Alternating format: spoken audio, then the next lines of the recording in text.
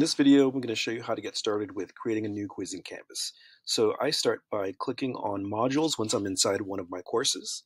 I'm going to click the plus sign to add a quiz.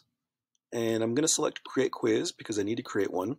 And I'm also selecting new quizzes because that's the feature that we want to use.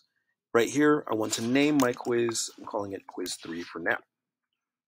And add item. At this point, quiz 3 has now been added into this particular module. I'm going to click on it.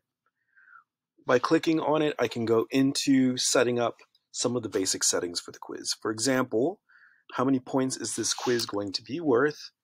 I can say that it's going to be worth 100 points. How do I want the this grade to display within the gradebook? Points is fine, or percentage also works as well. On submission type, I leave that alone. The next thing, it's very, very important to always choose a due date. So in this example, I'm going to choose next week.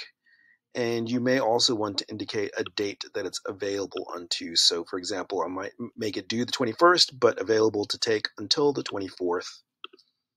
I then go to build. In the next video, we'll talk a little bit more about building the quiz.